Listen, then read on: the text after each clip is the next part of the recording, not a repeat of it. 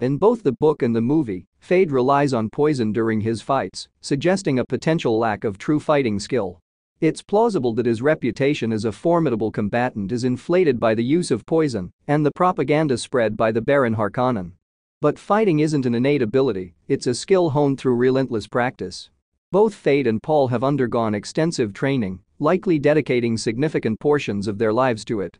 They share similar physical attributes and motivations, making them evenly matched combatants. This parody is intentional on Frank Herbert's part, heightening the tension of their confrontation. Feyd serves as a dark mirror to Paul, a common theme in stories of the Chosen One. While Paul is the protagonist, the focus of the first book lies in the intergenerational struggle between Duke and the Baron. Feyd represents what the Baron was to the Duke, a formidable opponent destined to be overcome by a morally superior hero. Overcoming this internal conflict becomes the ultimate test for the hero.